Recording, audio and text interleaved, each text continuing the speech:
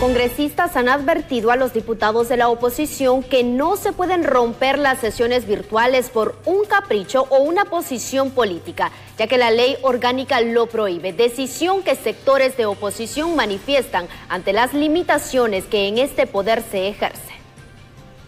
Congresista llamó a la cordura a sectores de oposición al cuestionar la autoconvocatoria a sesiones presenciales de ciertos parlamentarios cuando la ley orgánica del Congreso lo prohíbe. Por favor, diputados, la ley orgánica del Congreso en su artículo 50, en el inciso 5, manifiesta que son prohibiciones para los diputados ausentarse de las convocatorias efectuadas por la Junta Directiva con el propósito de romper el quórum el Congreso no se puede detener por un capricho o por una posición política.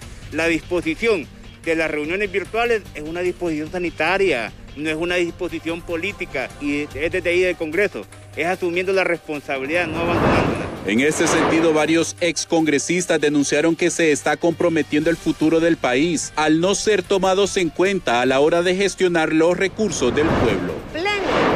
Bancada ha decidido no asistir a reuniones virtuales, puesto que no se han logrado discutir los temas torales de país de una forma ejecutiva y donde puedan estar presencialmente ventilándoles. Todos los reclamos que están haciendo los diputados son más que valederos.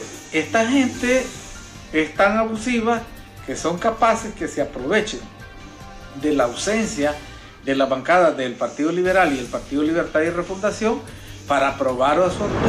Este llamado se hace a los congresistas luego de que varios se autoconvocaran para iniciar sesiones presenciales ante la negativa a participar en la toma de decisiones. Con cámaras de Marvin Andino para Impacto BTV, César Euceda.